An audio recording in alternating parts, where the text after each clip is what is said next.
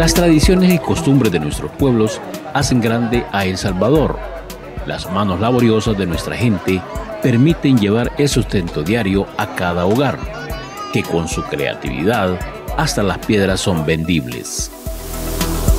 Procedente de Chapeltique, hablamos con el artesano Roque Mangalpiche, a quien lo encontramos tejiendo con material de palma de coco una de sus artesanías, la cual, con una facilidad entre sus manos callosas, se formaba una consistente canasta. Don Piche es un artesano de Oriente, pero también un abogado de profesión. Yo soy abogado de profesión y artesano de corazón. De las hojas de palma se han creado desde tiempos inmemoriales bellos y útiles artículos, que además de engalanar los hogares salvadoreños, han demostrado que no pasan de moda pese a los nuevos materiales. Es que yo ejerzo las dos, las dos profesiones, ¿vea? Ejerzo las dos profesiones, de abogado me muero de hambre, de artesano no, porque hay mucha competencia en la abogacía, ¿verdad? Ver tejer esta artesanía se ve fácil, pero en realidad no es tan sencillo pues a él le toca ir a buscar y bajar las palmas adecuadas o bejucos que después utiliza como materia prima para su trabajo. La artesanía de las fibras naturales como es la palma de coco, bejuco de crespillo y corazón de tule, que son los tres elementos que llevan estas canastas, entonces son productos locales.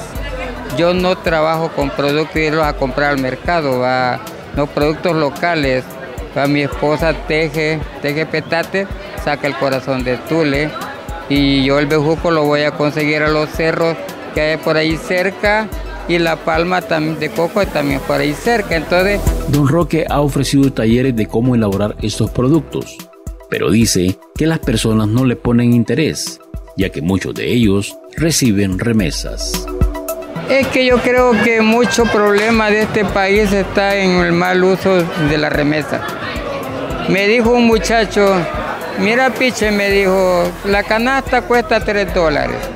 Hay que limpiar 180 palmas, una por una. Subirse al palo de coco a cortarla. Y ponerla a secar y todo eso. Y cuando mi prima me manda 100 pesos, mi mamá me manda otros 50.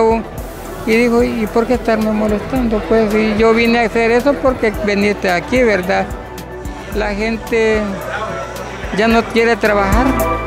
Nuestro personaje de este día afirma que no solo canastas es lo que ellos hacen, también decoran y recogen piedras para venderlas.